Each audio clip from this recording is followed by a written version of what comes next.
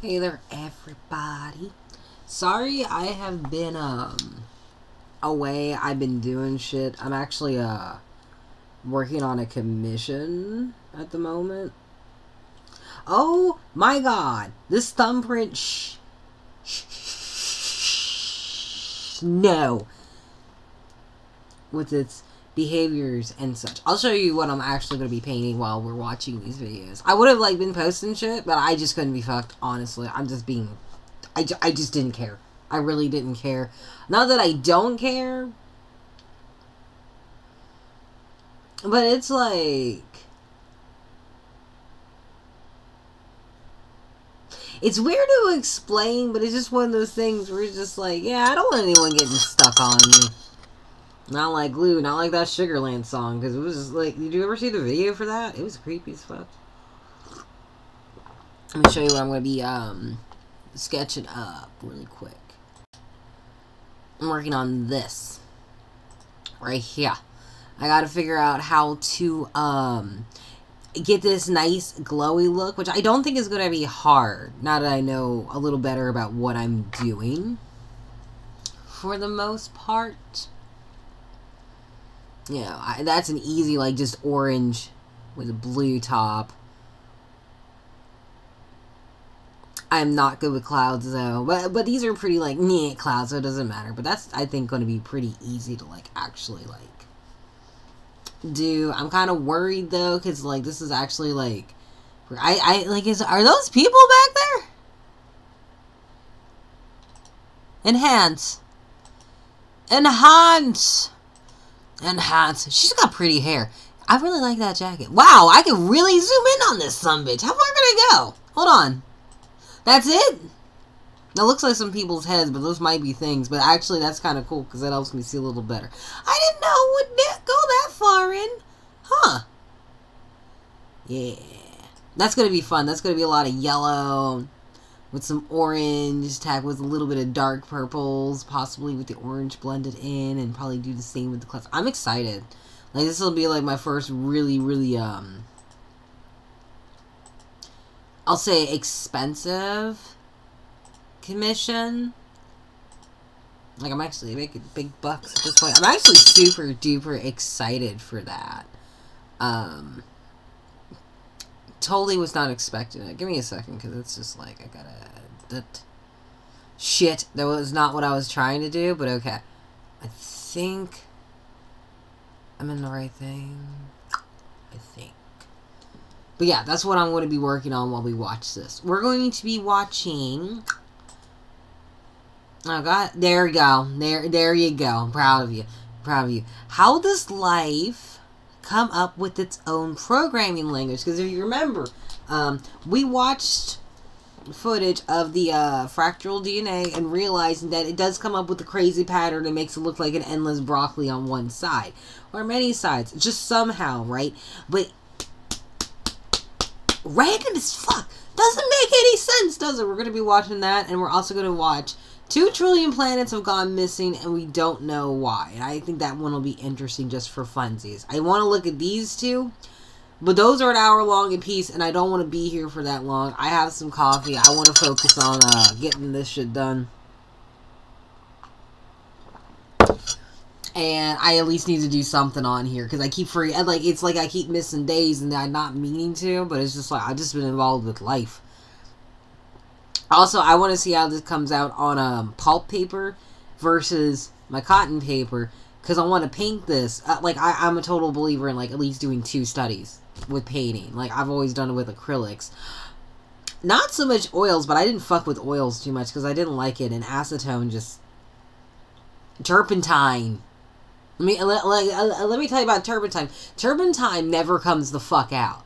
Turpentine will never come out. No matter what you do, no matter what the soap, it is stronger than the soap. Turpentine is what you use if you really are mad at that painting and you don't care about the consequences anymore. You're just like, I just want to finish this. I want to get done. And that's one of the reasons I didn't fuck with uh, oils for too long because I lost my patience. Acrylics acrylics were easy. Acrylics were like absolutely easy, especially when I learned how to water them down a little bit.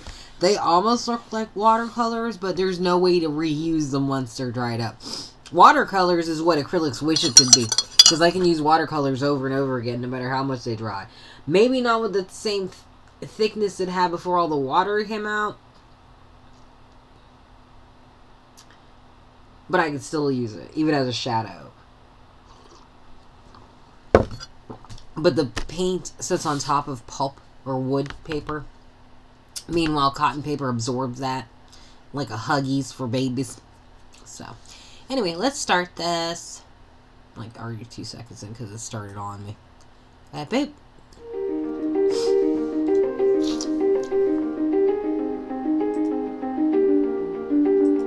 Is this fine? Yeah.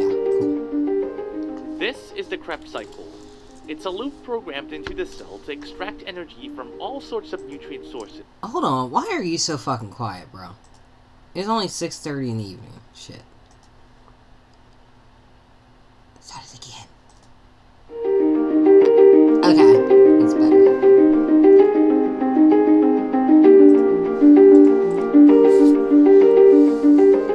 This is the Krebs cycle. It's a loop programmed into the cell to extract energy from all sorts of nutrient sources. But where does it come from? How did nature come up with this design? How does life come up with its programming language? Right, that's always a good question. Like, how did you do it? Let's break this question down one step at a time. To be more specific, what I meant by programming language is the processes that the cells use to transform one substance into another. These are what we call pathways in biology. And, like factories, there are small machines along the way that gradually modify your starting material into your end product. These little machines are known as enzymes.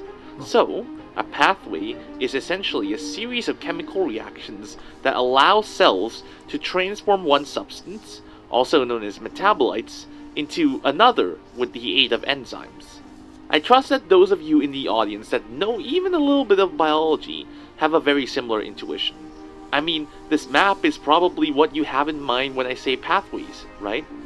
In this video, not only am I going to tell you where these come from, but I'm also going to show you why this picture Oh, right that's here a lot of is math. actually That's way incomplete. too much. I just looked And by that. the end of this video, I'll show you how we can tame this evolutionary power for our own use. See, this guy's kind of intimidating because he's got the two most simplest shit right here.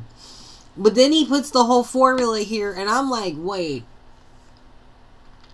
I look down for two seconds, and all of a sudden we're in a whole different country, speaking three languages all at the same time, with this overtone and vocal shit. I can't do that. I've never tried that, and yeah.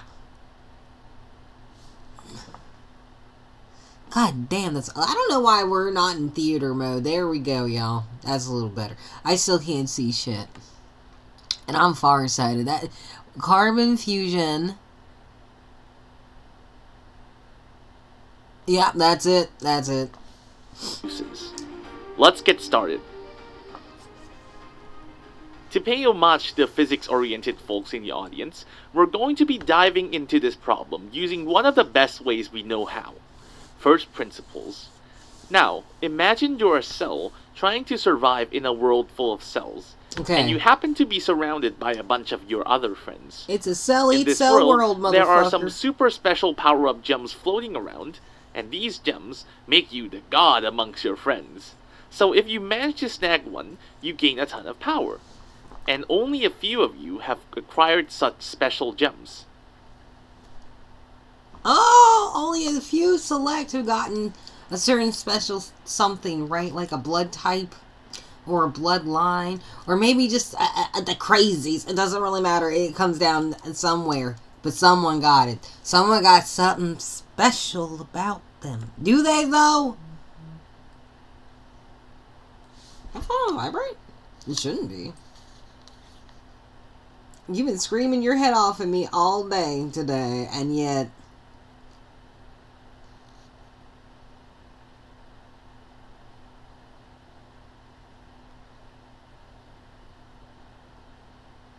Yeah, okay, whatever. That makes no sense. But yeah, special shit.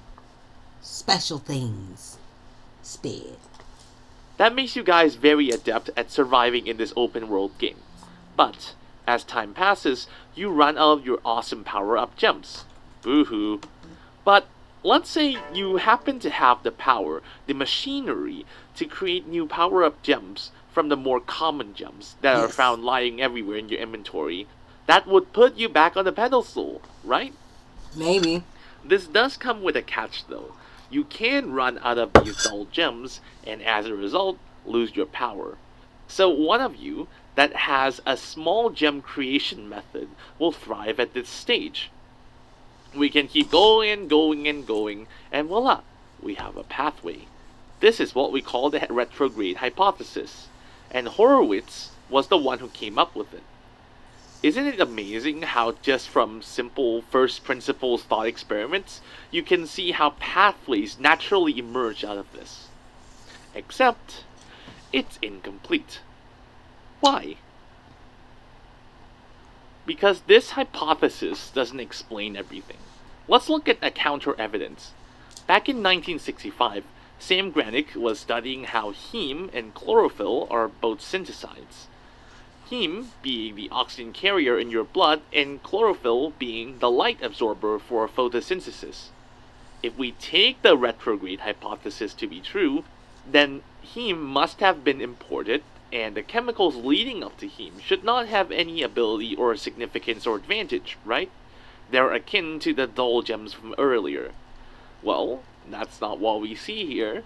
The molecule before this step can also do what heme and chlorophyll can do, albeit at a slower rate. So, he proposed a new hypothesis. The end product serves a useful function, but a step can be added to further improve the end product again, meaning that the intermediates along the way were once, perhaps themselves, functional end products of a pathway. This is almost the complete opposite of what we had earlier. The most important yeah, seems like cheating. of this hypothesis, however, doesn't hinge on this, but in the fact that the chemicals themselves, the metabolites, evolve along with the enzymes. So, did pathways build themselves backwards like the first hypothesis, or did they optimize forwards, step by step like the second? They sound equally intuitive, don't they? But the reason that they sound so intuitive is precisely why they're both incomplete. And our skewed intuition comes from one source. Bullshit. Most of us learning biology have an incomplete oh. conception of what proteins and enzymes can actually do. We often think of enzymes as being machines that sit inside of the cell, waiting to do their specific job. We like to imagine them more or less as fixed structures. But this is an incomplete intuition, because a lot of enzymes are, in fact, more like soft moldable clay than hard rigid rocks. A lot of enzymes can have more than one function, and these are known as promiscuous enzymes. The little chemical robot arms inside the enzyme may look very specific for that one enzyme's job, but in reality, it's only Nigga, that looks like a whole alien. for Look at it. In Look, the right look at it. That's a whole abomination. The way it's moving and shit. It's a whole. T- oh, it's the '90s telephone cord coming back to haunt us. Like ah, us all in our sleep. That's what that is. Death. That's what that. It's death.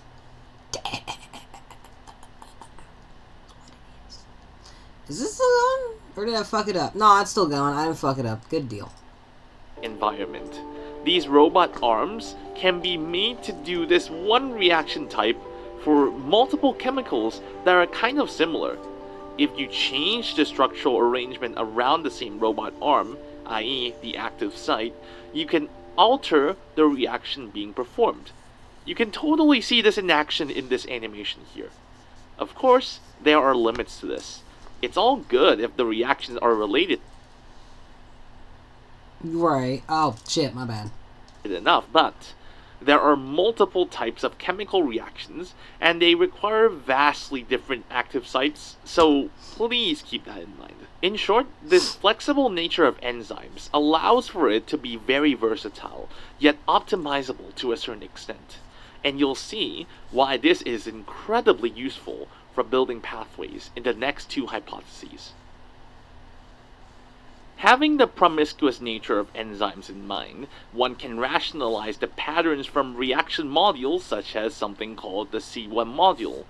What is the C1 module? It's a big family of reactions that involve elongating molecules by one carbon. The reactions themselves share the same chemistry. Therefore, like different species in evolution, they could have come from the same common ancestor. The ancestor here is assumed to be a generalist that has the active site for this reaction, but it's not geared towards anything just yet. Right. Over time, though, they can be duplicated and evolve in separate trajectories for different tasks. But yet again, this model doesn't explain everything. The evolutionary trajectory can be complicated and full of function gains and losses over time. And Are you noticing how there is a consistency with the only thing consistent is that it's always incomplete? You know, almost like we're not allowed to know what the answer is. It's very consistent. Very consistent. the evidence is also hard to come by. In addition, the enzymes can also converge onto the same function, just like how dolphins and sharks look very similar but have completely different ancestries. One other take you can go with, knowing enzyme promiscuity, is that you can make a hypothesis about how new pathways are built. The existence of promiscuous enzymes implies that there is an underground, hidden network of reactions that make, for now, useless chemicals. However, if we force an evolutionary pressure that requires that very useless chemical, the cells that will survive are going to be the ones that have that chemical. You know what else uh, like is made when you apply pressure? Diamonds. And diamonds are nothing but useless rocks. It just happen to be hard as fuck. I'm gonna get some more coffee. I'll be right back. Alrighty, I'm back. So yeah. Anyway, um, what the fuck was I just saying? Oh, yeah. Uh, honey all over my hands. You can also apply pressure to coal in some instances since they're made of the same um makeup of whatever, whatever you want to say. Mm, not enzymes, not atoms, not DNA. It's something that they're they're made of the same composition of stuff. I don't know what stuff. It's kind of like uh, crystals and viruses are made of the same shit. They're literally the same thing, just formed different. That's all. Um, but it's just like uh, pressure causes things to change. This could easily be virus, but it's a crystal instead.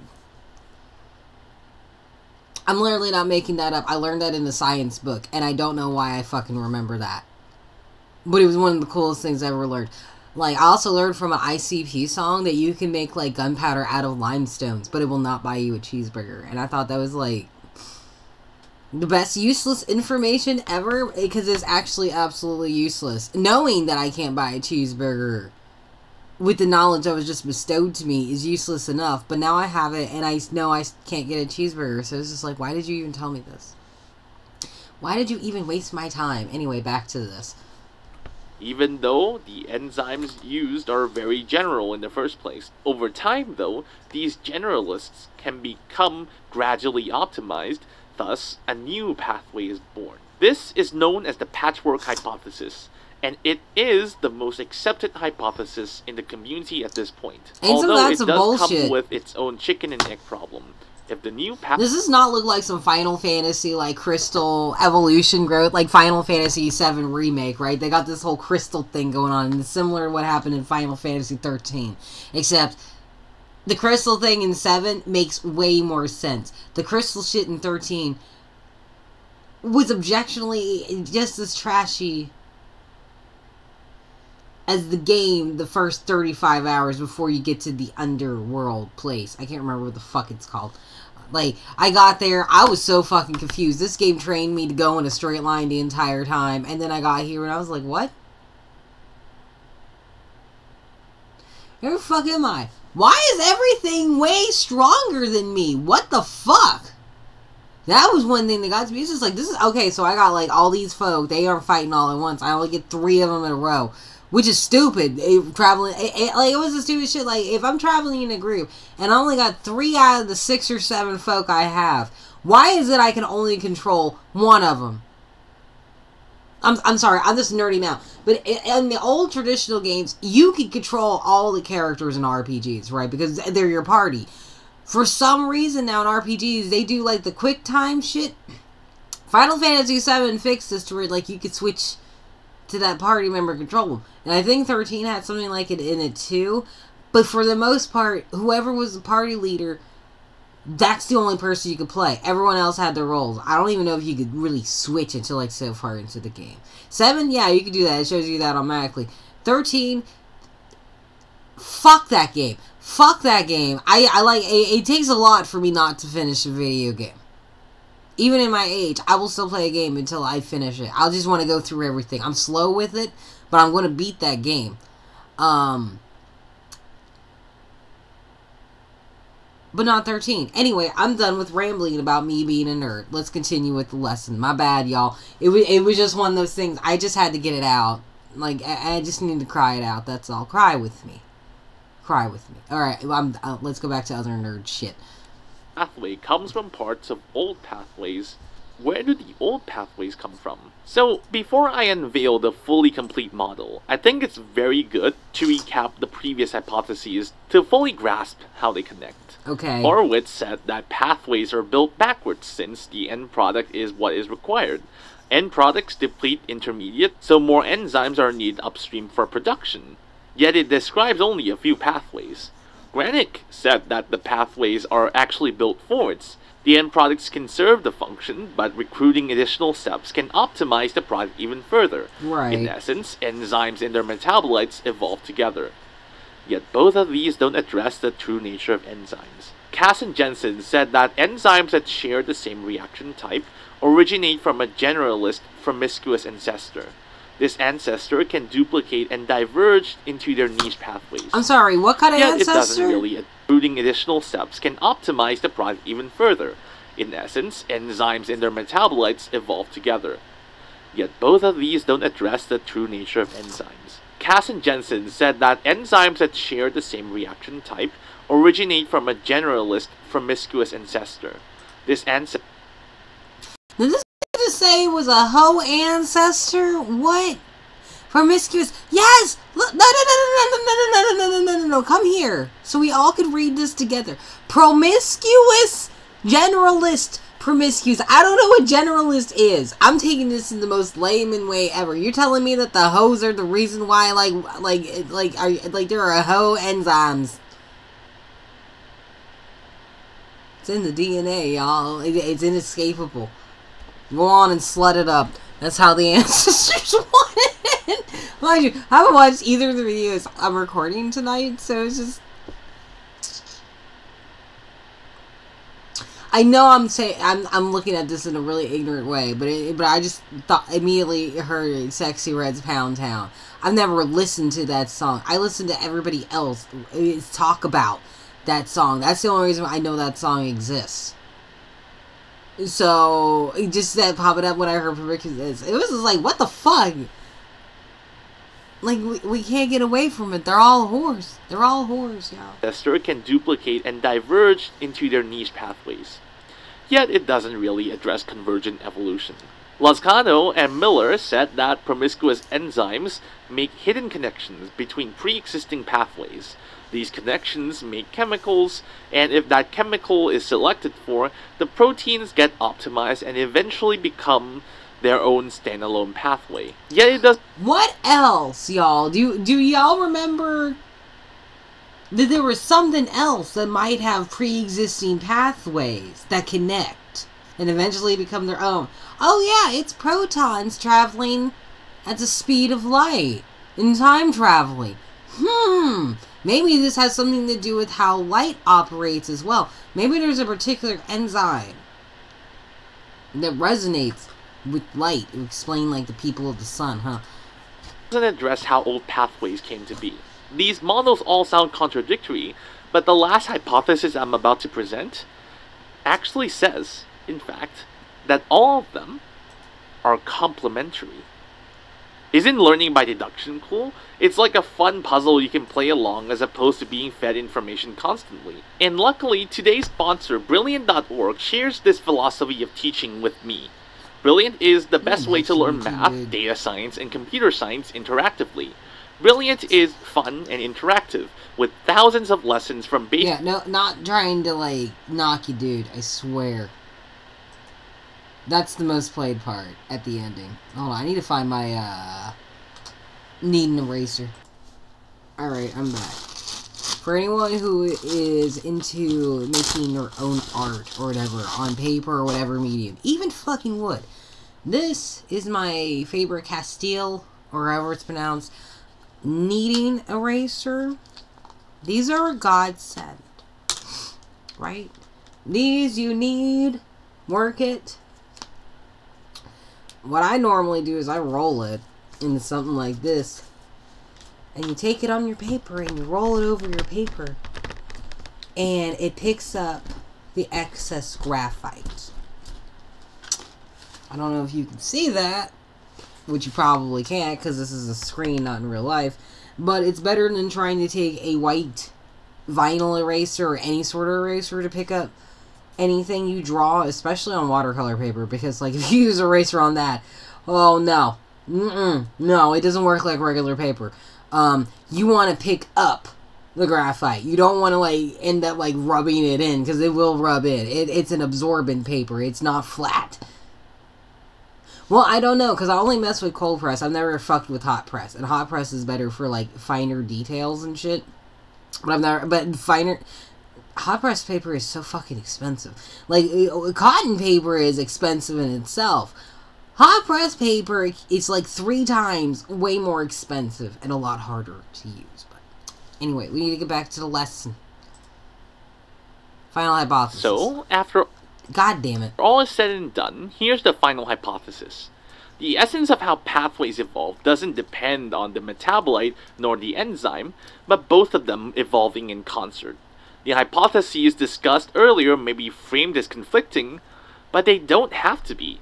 Especially when there are just four different modes for evolution, four different ways to do the same thing.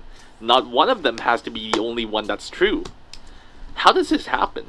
As in hypothesis 4, new compounds appear initially as pointless products. Where a selective advantage appears for that compound, it makes sense for the enzymes to be recruited. Right. But after all is said and done, those very same enzymes in the pathway can also be promiscuous, which will give rise to even more metabolites in the hidden So you be network. hoes too. In Everyone addition, just learns, oh, since mom was a hoe, I could be a hoe. these reactions together. You can When will also it connect end? them using non-enzymatic reactions. These reactions occur on their own without real need for an enzyme. For example, the CO2 leaving reaction helps connect the two totally separate pathways together, leading to a new way to make the final product. This leads to an overall incremental expansion of the metabolic network, metabolite and enzyme both, driven by promiscuous enzymes and non-enzymatic reactions. Let's look deeper at an individual recruitment event. Our final hypothesis also introduces one more, more general way of recruiting enzymes other than forwards or backwards. That is, if a step is limiting the rate of production, there is an incentive to include the enzyme there. If step 2 is slow, then we should include the enzyme there. If there's a pullback, then pull forwards harder. If it's all equal, increase the amount of stuff coming into the pathway. This doesn't conflict with either H1 nor H2, since you can easily have a situation where the initial and the final step can be, Hmm. well, a slow step. Even though hypothesis a 3 and 4 assumes that everything all happens at once, this still demands that each individual gene must be modified, one mutation at a time. But regardless of how they are recruited, like I said, one enzyme can be forced to diverge due to being borrowed or for usage in another emerging pathway. This creates a middle state where the enzyme is a generalist, much like the ancestral enzymes from hypothesis 3. And when they diverge, they're part of the same reaction module, just like the C1 module. So, to recap a little bit, the enzymes evolve along metabolites by means of enzyme promiscuity. The metabolic network can also be connected further by spontaneous non-enzymatic reactions. Recruiting each individual enzyme is a step-by-step process that happens due to a need to optimize how fast the whole pathway is going, or by going forwards or backwards. And finally, during the creation of a new pathway, the shared enzyme can diverge, thus becoming the ancestral enzyme that you see later on. This reminds me a lot of like System Shock, System Shock 2's hacking system and Bioshock's hacking system because it's literally almost the exact same thing. Because with the hacking system, you had to figure out how to get the pipes to connect to flow from one thing to another, but they all be like weird shapes. And in some of the games, you can only open certain ones or so many, and then you have to switch them around and shit in order to make the pathways connect from one to another. That's what it kind of reminds me of a little bit. I might have alluded to that this hypothesis is the final end-all be-all. However, there are questions that can still be asked of it. For example... Hold on, y'all. Okay, sorry about that. I like I was talking to my dad about the cat. Even though it works really well for new pathways, it doesn't completely explain how the core pathways, such as the Krebs cycle, pentose phosphate, or glycolysis, come from. Though the hypothesis doesn't fully explain these core pathways, certain parts of their evolution can be explained based on this model.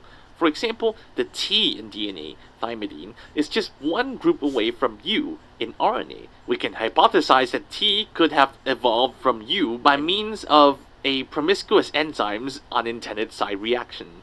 And that enzyme later became such a core part of metabolism that DNA uses T instead of U.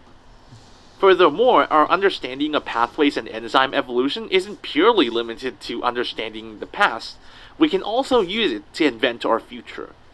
The animation you saw earlier in the video is actually an artificially evolved enzyme in a lab. Yeah, I was about to 10 say it's kind of like a freak. and you can evolve this enzyme from one function into doing a very different reaction by changing how flexible some of the branches are. This not only gives valuable insight into how we can design enzymes, but it also proves that we can use evolution as a tool to design things, similar to how we can train neural networks.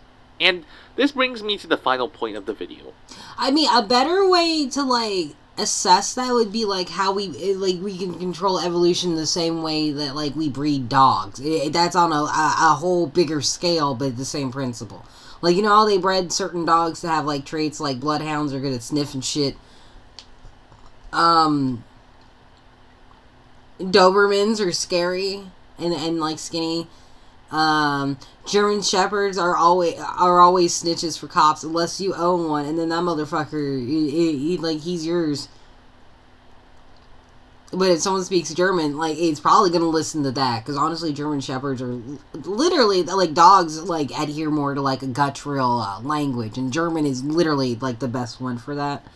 So it's just kind of like whoever speaks German wins the dog, I guess. But yeah, um, how we breed dogs is an excellent way of demonstrating um, how we can control evolution almost like an enzyme way.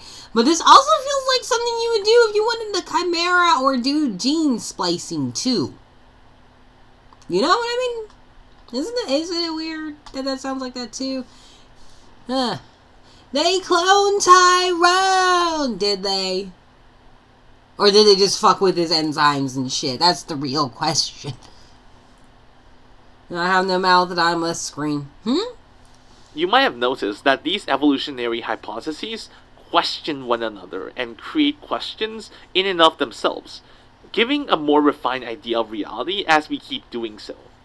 Just like how you can evolve enzymes and pathways using evolutionary pressures, you can evolve scientific ideas further by asking questions and building off of ideas that came before you. To stand atop the shoulder of giants and reach for the skies. Thank you immensely for Yeah, watching. but the last time we did that, we stopped learning how to talk Thank to you to other. some of the folks from the Tokuriki lab from MSL UBC for helping out with the making of this Ooh, video. all It has been a great pleasure. Kono ken- We liked the videos. It was a good video. Appreciate that. Alright, let's go to the next one. Hopefully I haven't been spotted yet. Two trillion planets and have gone missing and we don't know why. This one I'm excited. This deals with the more recent shit we've been looking at.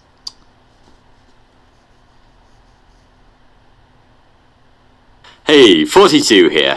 As you know, the universe follows a predictable format. It contains galaxies. Galaxies contain solar could talk- systems, I- I- and solar systems contain I don't know if I would call any of that like what the fuck he just said. I don't trust anything in the outside this fucking planet. At least with this planet, I learn mostly how it operates, either through books or I guess people with TikToks on the internet, because apparently nobody trusts people who actually went to school for shit no more. It's no longer believable. You can learn that shit from any fucking idiot online. Um, but I don't know if I want to know what's outside of here because I'm not sure how even outside of here even works. How would they know what time it was if they were in? You know what? I'm thinking way too hard before I even start this. But go ahead. Go ahead. all of the planets. This general galactic structure is one of the first things we learn about space as kids. And it's completely wrong. Because it turns out that planets aren't just found inside solar systems. Oh, they're not? Some, known as rogue planets, don't orbit stars at all. They just drift around out there alone in the vast emptiness of space. Oh, that sucks. And They what we're about to leave- uncover about them not no, only won't. rewrites our cosmic rulebook, but, as you'll find out by the end of this video, completely changes the search for extraterrestrial life and what it means to be human. Huh? All those rogue planets drifting alone out there in the solitude of space with their unpredictable paths, They not knowing where to. their They future will lead, reminds me of my struggles during the festive season when it comes Mm-hmm. to managing stress and keeping on top of my busy workload. It's a very paradoxical time of year. We should all be coming together, but like rogue planets, some of us end up feeling more alone than ever before. But stress and the low moods that come with it aren't just a seasonal issue. Ten days ago. And the earlier you can recognize it in your own thought patterns, the sooner you can enact positive change. So BetterHelp joined me in a paid partnership for this video. BetterHelp is an easy to use platform with a vast network of over 30,000 therapists. Some interesting Look.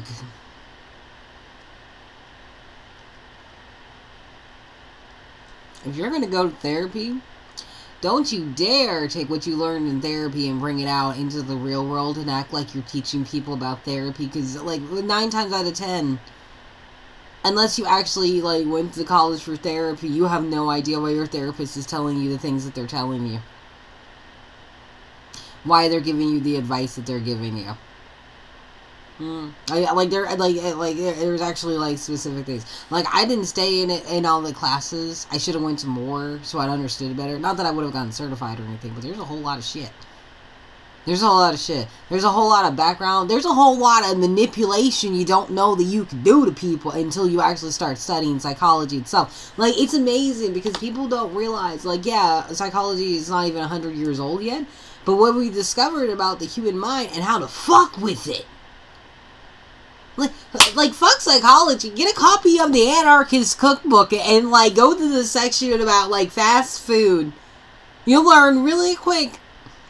It's better to learn about this psychological shit before someone is smart enough to use it on you. Because like if you down this shit too much, that's cool. But that means that someone knows exactly how your mentality is and how to eh, get you to act a certain way.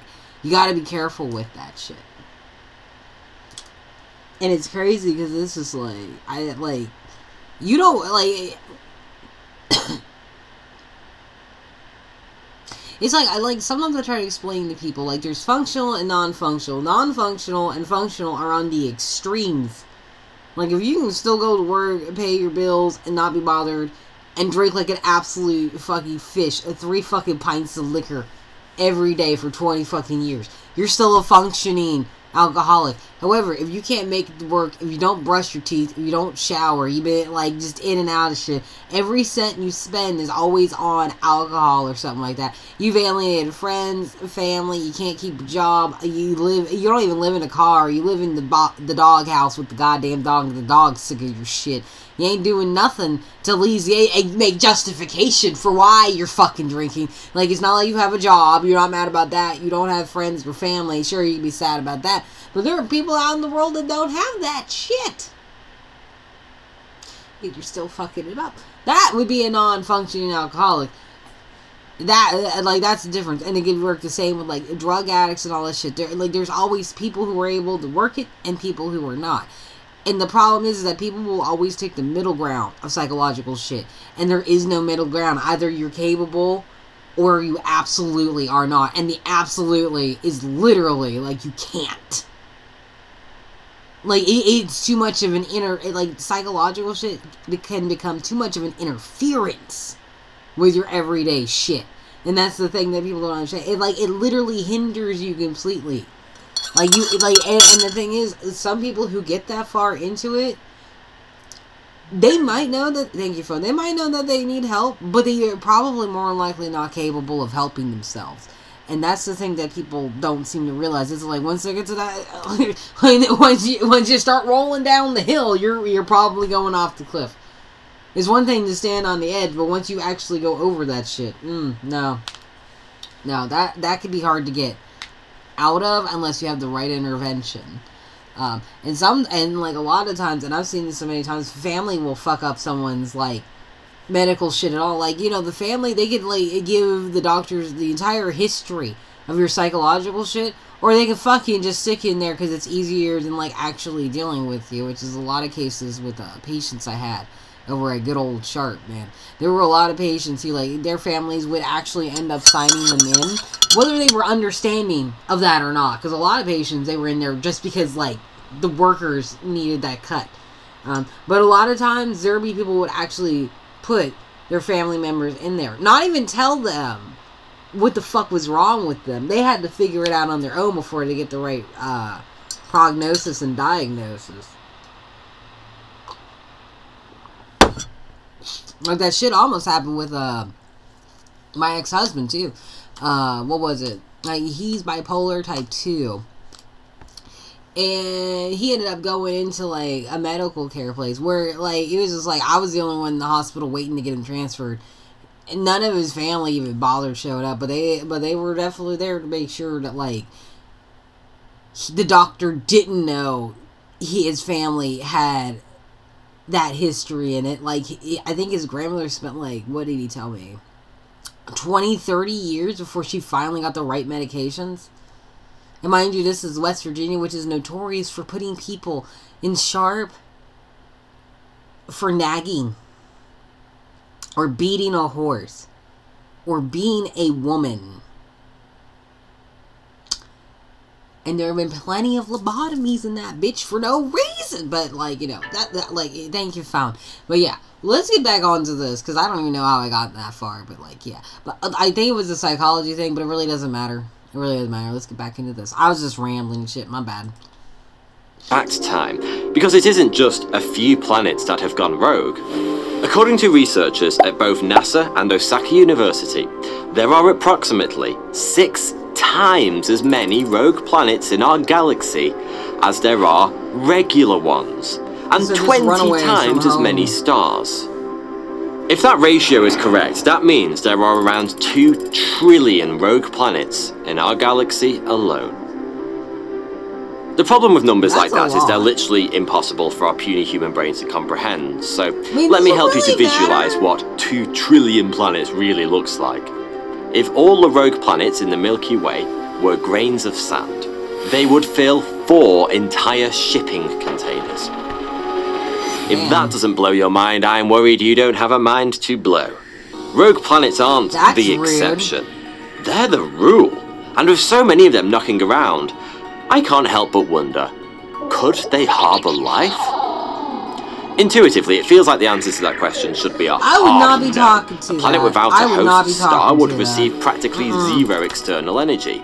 It would be No, a there's no way. If something's looking at me like no, No, no, no. That just fucked me up. And, and, like, I don't give a fuck what it is.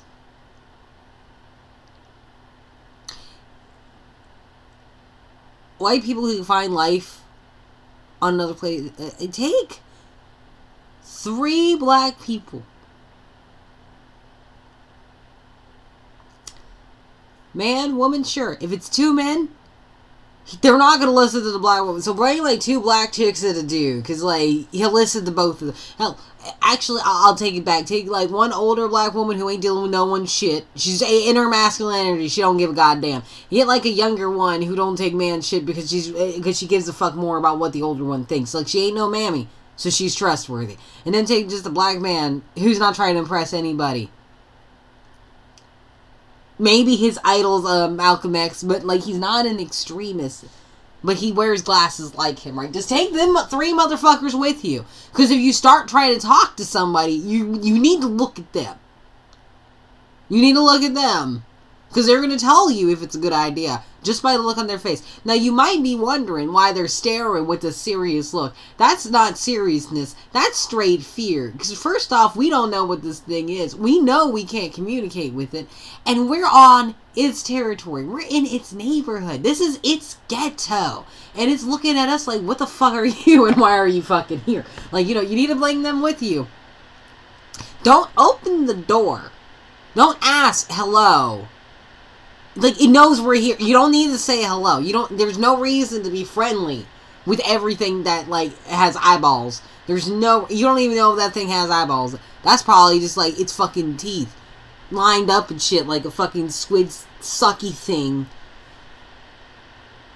We're trying to make friends with everything. Quit trying to find out, eh, like, quit trying to find living things. What if it comes and follows you home? I don't want to deal with that shit and get eaten by its eyeball sucking beaks suckers. Ugh. Frigid, empty wasteland about as welcoming to life as the reactor room in Chernobyl in April of 1986. Or would it? Well, not necessarily, because it turns out that not only could rogue planets be habitable, they might just be seeding the entire universe with life as we speak. Well, maybe we should leave them the fuck alone then, since they got a job. Rogue planets are created in one of two ways. The first kind form just like stars, from the collapse of colossal clouds of dust and gas, but they never gain enough mass to kick off nuclear fusion within their cores, and are instead doomed to wander the cosmos for eternity, knowing that they never truly lived up to their potential. The second group form like regular planets in boring old solar systems, but at some point, the gravity of a larger planet yeets them out into empty space with such force they escape the gravity of their parent star and just keep going. Young solar. Mind you, mind you, we like. Didn't I just read something where like the Orion Nebula is just shooting uh, like twin pairs or pairs of planets out the ass? Like making babies like it's fucking popcorn, just all over some bitch. Like we've been seeing doubles all over the place. I've even seen doubles in the sky, but I didn't know what the fuck they was. So it's like, uh, how are we gonna worry about what this planet is doing when a whole nebula is like kicking its kids out? Like that's a lot of fucking kids. It's like straight up, like not my kids. Ugh, that's above, so below, huh? Systems are chaotic places, and scientists now think that this sort of unseemly planet-yeeting behaviour is actually extremely common. Which means That's there's terrible. a good chance our own planet has a long-lost sibling or two somewhere out there in the endless darkness Probably of Mars. space. Mars ain't talking to us anyway. Mars is still So, mad. with all these newly suspected planets to explore, what are the chances of one of them containing alien life? If you want to bake a life cake, you need three ingredients a variety of chemical elements, a solvent of some kind, in our case water, and an energy source. The first part should be pretty easy. The so-called chemical What building blocks of life, Why elements does like cake? carbon, hydrogen, Why does oxygen, the cake have fucking eyeballs? Nah. Ah. Wait. Why is its eyes out its socket in between the strawberries? Now the oven looks like it has a face to me. He's not even trying to look. It's like, uh, this is not my business. Well, look at him. Oh, that's so disturbing. Why would you do that? There, like you could have kept it. Did it pop out? Because I didn't. I just happened to catch it. Look at this space some kind, oven. in our case water, and an energy source. The first part should be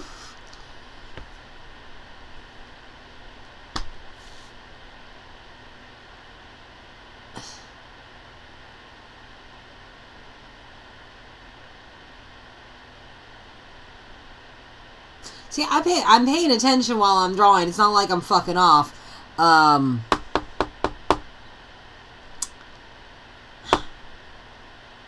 there's a few things that disturb my ass, and and this just.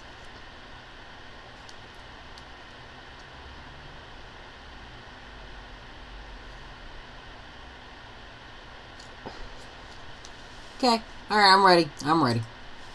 Be pretty easy. The so-called chemical building blocks of life, elements like carbon, hydrogen, oxygen, nitrogen, sulfur, and phosphorus, Oh, are thought that was abundant all over the universe, so we'd expect That's to find them on plenty of rogue planets. The second two parts, not so much. No, potassium is Here on Earth, we get both of them from the sun.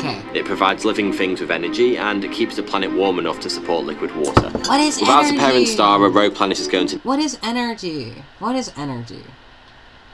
Got water and energy. Why is it made of lightning though? Why why is it made of little bits of lightning that almost look like stars? That's terrifying. Is there lightning on the sun? That's a really good question. I never thought of that. Would there need to be lightning or would it just be straight plasma? Does the sun have heat storms? That's what I want to know. Is the sun capable of having a heat storm that makes it hotter than the rest of the time? That'd be interesting as fuck. Like, if Jupiter could have a whole hurricane on its surface that we could see with the naked eye, this this motherfucker should be capable of having, like, some menopausal heat strokes and shit. Needs some other source of energy to fulfill those roles. The question is, what? The sun is the major energy provider here on Earth by a huge margin, but it isn't the only energy provider. A whopping 0.027% of Earth's energy budget comes from within the planet itself, partly from the decay of radioactive materials and partly in the form of heat left over from Earth's formation. For Like, like what kind of radioactive materials? Because, like, I, like, I, I, like, there's a lot. There's a lot. Like, has anyone ever like? I should do that. I should just look up a bunch of random like nuclear waste shit. Um, because that'd be interesting. Y'all know how much nuclear waste they actually bury into the planet, and I do mean bury. They bury them barrels. They bury that shit. Yes, they do. Yes, they do. Yes, they do. They bury. I think it's metal barrels. No, that doesn't make any sense. It would have to be some type of plastic. Would have to be some type of plastic. I'm just letting you know. I also think it's like what three to five days you can recover from radiation exposure. Like normally, like at a dentist or something, right? Uh, unless you run into one of them barrels, it's uh oh ah mm. four and a half billion years ago. On its own, this geothermal energy wouldn't be anywhere near enough to keep a starless planet warm. But if that planet had a dense atmosphere of some kind of greenhouse gas, it could theoretically trap enough heat to warm things up quite nicely. According to a study published in 1999, I'm kidding, I'm kidding. a hydrogen atmosphere around 100 times denser than our own would be so effective at trapping geothermal heat, it would generate surface temperatures toasty enough to support liquid water oceans. That's a promising start, and geothermal energy isn't the only thing that can keep a rogue planet warm. is it? It's easy to assume that rogue planets are lone wanderers. In fact, that's kind of implied. But just like regular planets, there's no reason they couldn't have moons. As you probably know, the gravitational tug of our own moon is largely responsible for oceanic tides. But it isn't just water that feels the pull of the moon, it's everything. A large moon will literally stretch and compress its parent planet in what I like to think of as a big incestuous gravitational massage. All that intimate gravity based touching causes friction, and friction generates heat. We see this in action right here in our very own solar system. Moons like Europa and Enceladus experience extreme tidal forces from gravitational interactions between their massive parent planets, Jupiter and Saturn, and their respective moons. As a result, and despite being well outside of what's traditionally considered the habitable zone of our solar system, both generate enough internal heat to support subsurface oceans beneath thick layers of surface ice. But you want to go there. Like, like, how thick is the ice? Is it like lake ice where there's like you're gonna fall in kind of ice? What if like what if there's something like a Nessie underneath the water? I watched the movie. I can't remember what the fuck it was, but these dudes went into space, and at the end there was this chick left, and she decided to record the monster that was coming into this thing, and it was coming after her, and there was all sorts of liquid, and it looked cold as fuck. And it got her. Like, it got everyone one by one. I wish I could remember that movie because I would love to watch it because it got the first person while I was out, like, searching for shit. And then I guess another person went out. And then finally just broke into the thing and went after the third person. I don't know how it knew they were in there, but I guess it doesn't matter if it knows that, like, they're, that they're coming out of that thing. Like, if, they're- if, it, if they're coming out, there might be more in there. That, that would be my thinking if I was an animal like that. Like, you know that it came from there. You just don't know if they're all dead or not. Whereas, it might have just been attacking him because they didn't know if it was a threat, because it could have been sentient too. But you really don't know in that movie. I really don't remember. So I'm just sitting here like, do you really want to go there after we imagine that shit in this fucking universe? Like, no. There's no, there's, like, you know, if you want to believe that, that, like, it's water underneath layers of ice, that's fine. But you want to go there. You want to go there. Is it like you want to go there? You want to okay.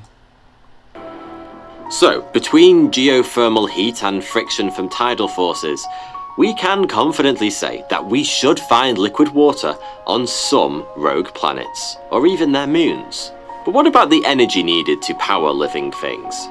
Until relatively recently, scientists were under the impression that every single living organism on Earth relied on the sun's energy for nourishment. In other words, they thought that the bottom of every single food water, chain huh? was populated by some kind of photosynthesizer, converting energy from the sun into food. Why the fuck is the wolf at the top? What the fuck is this? Is that a wolf or a dog or is it a bobcat? Why is that at the top? He, he's the one that takes the most, like primary reducers. Yeah, sure. Maybe I'm reading this backwards, but why is he at the top? Why isn't the cow at the top? The cow at least eats the grass that are the primary fucking produce. Why wouldn't the cow be up there? I, I don't like I know I'm looking at this wrong. I'm probably looking at this wrong. Is it like the food pyramid? I thought I was debunked or some shit. I don't. I, fuck y'all. Just fuck y'all. Fuck y'all with your need for pyramids to make sense of shit. It don't make no If that were true, it would be a bit of a problem for a rogue planet billions of miles from the nearest star. But luckily, it isn't. In 1977, scientists researching deep sea hydrothermal vents discovered something remarkable. Bacteria were feeding on the rich chemical soup spewing out of the vents and turning it into food. It was the same basic concept as photosynthesis, only with chemicals as the input instead of sunlight. Today, we know that Isn't that the same shit that that like was a primordial sea where whatever the fuck came out the water to live on the dry land? Is wasn't that the whole evolutionary theory behind that? Wouldn't that same shit still exist? Are we going to see new mutants come out the water? Is this a cycle here? That's my question. You know, I'm just involved now. This process as chemosynthesis, and we can be confident it's a perfectly viable energy source to power life because it supports entire ecosystems of diverse creatures right here on Earth. Now, just imagine, right? You you're scared of the sun, so you send down a ragbag team of rich idiots down to see if like the idea of these chemo synthesis, chemosynthesis, narcosynthesis. Anyway, um, imagine like someone wants to test this out, but you want to see how this works, so you send some test dummies down to check it right around where like the root of the world tree is. They don't make it because they're stupid, though. Like, you know, with the whole, like, controller. Which, mind you, the controller wasn't an issue because that makes the most sense. Why wouldn't you use something that like works as a like hand-eye coordinating device? Like doctors at one point were using Super Monkey Ball for hand-eye coordination to help with like their like um recordings when it comes to practical surgeries and shit. What was stupid was the fact that it was uh Bluetooth. Like, why wouldn't you wire that some bitch? What what happens if if it doesn't turn off with the thing? You know, it was just one of the weird things. Um, but then again, it's like you know, I'm, I'm just saying, like it's very strange, very interesting how there's something that doesn't need the sun and does the same thing the sun does. You know, as above, so below. So there's two ways out, apparently. But I guess it just depends which exit you're going to go. I don't know how I feel about the one with the water though. I like there's something about the water. It's just like I know I've heard from people who have actually drowned and survived their drownings that like there's a lot of panic and then all of a sudden just peace. Except for Terra when Gemma got a hold of her. Poor fucking Terra. She she was full of terror. okay, let's go ahead. Move around hydrothermal vents and cold seeps on the ocean floor and in certain cave systems. Okay, so some rogue planets should have the right chemistry for life. Right. Some should have liquid water in oceans, Which either on or beneath the surface. okay. And some should have access to energy sources capable of sustaining life. Now, considering how many rogue planets there are out there, it seems extremely likely that some are going to be habitable. That's an intriguing prospect, and it might just explain one of the biggest mysteries in all of science the origin of life on Earth. For dead matter to suddenly turn into living matter, quite a lot of seemingly very unlikely things needed to happen. Amino acids had to band together in extremely specific That's ways to form necklace. proteins. Oh, it looks like the enzymes. Long strings of various molecules had to somehow self organize into forms that were capable of replicating themselves.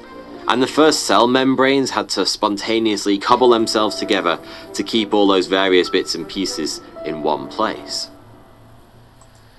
None of these things are impossible. Self organization in disordered systems seems to be a feature of our universe. But each of those steps occurring in just the right way to give birth to life seems so vanishingly unlikely that it's really hard to believe it ever happened. The missing ingredient here is probably time. Given enough of it, even the most unlikely things can happen. It's Right. your classic monkey typing Shakespeare sort of deal. Give him a weekend and you'll end up with several pages of utter nonsense. But give him a few billion years, and before you know it, he's wondering what light through yonder window breaks. But there's a small problem with that theory. Our planet is What do you have to do 4.5 English? billion years old, and according to our current best estimates, life first appeared here at least 3.7 billion years ago, and maybe as many as 4.2 billion years ago. Either way, things are going surprisingly quickly, and once they got going, early organisms got complex very fast. To some scientists, that just doesn't add up. A few hundred million years simply isn't enough time for a molecular monkey to bash out a living organism. And yet we know for certain that life was here, so what gives? Well, there Maybe we're a lot older than what we realize. Maybe we're aging too quickly for our own scales of measurement. Maybe we just can't tell the fucking time. Maybe, wait, maybe we just don't know what what the actual time is. The time is forty four ninety three ten.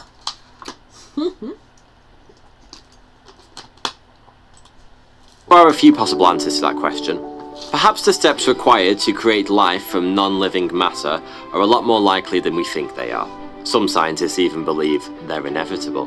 Maybe we just got insanely lucky and landed ourselves a genius monkey that smashed out the complete works of Shakespeare on his very first try. Perhaps life on Earth has been evolving for much longer than we think it has. And it's here that rogue planets might come into play. According to the theory of panspermia, life didn't necessarily originate on planet Earth at all. It travelled sperm? here from elsewhere in the cosmos. Yes. If that were true, Earth life might be billions of years older than previously thought. yes. That would go a long way to explaining how life got going so soon after the formation of the planet. And See, and I think we came from the Orion Nebula or somewhere, or at least maybe even the Dark Horse Nebula. Wherever that fucking explosive looking thing is, I think we came from there. I think that's actually what we are. And it's kind of interesting that this has popped up um, in accordance to the shit I've talked to. I'm so glad I like I found this today. What? I don't know anyone from Romney. Now I'm gonna get copyright.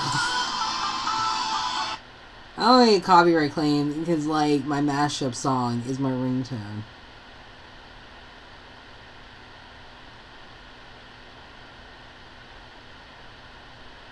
I'm talking. YouTube's petitioning people to use their.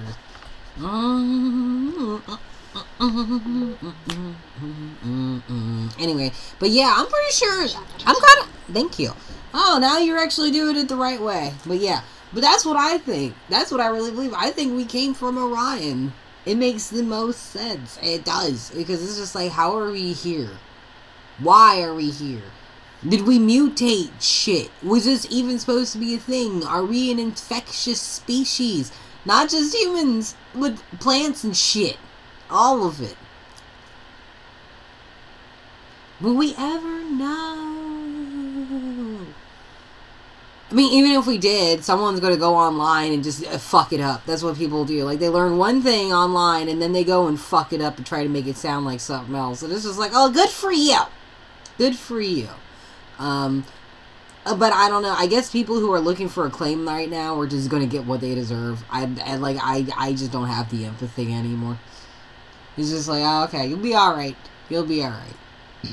and how early Earth life achieved such surprising complexity in the first few hundred million years after it appeared. One of the biggest problems with the panspermia theory has traditionally been the question of how exactly the seeds of life crossed the vast distances between the stars. Mm. Space dust, or asteroids, are two of the most commonly suggested I was dispersal about to say that's not the same shit. But any life hitching a lift on either of those will be exposed to the incredible hostile environment that is naked space. But what if life's been travelling around the universe in much cozier circumstances all along? We're just a from a Could a pollen passing ball. rogue planet have seeded Earth? We are literally the result of space sperm. How do you feel about that? How do you feel knowing that you're nothing but space sperm? You didn't even come from the fucking explosion. You're just the jizz left over. What's found in the fucking sock or towel. How does it feel? How does it feel? Go rub your face in the grass.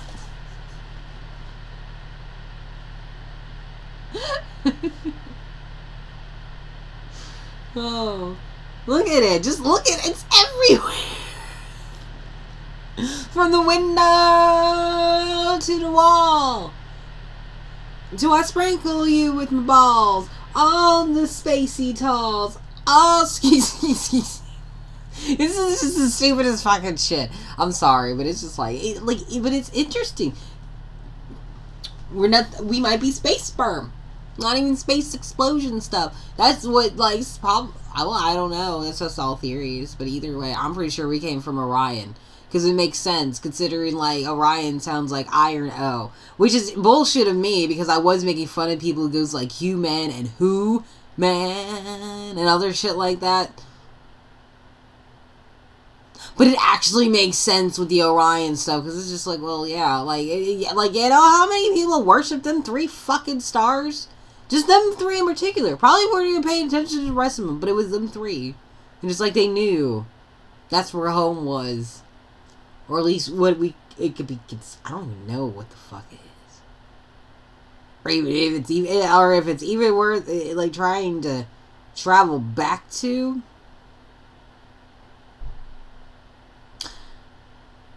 But there ain't no Sukihanas or Sexyy Reds there. I ain't gotta listen, uh, worry about like no men with podcasts. I ain't gotta deal with people like just being a certain way. I can just go, and it looks like a fun place to go.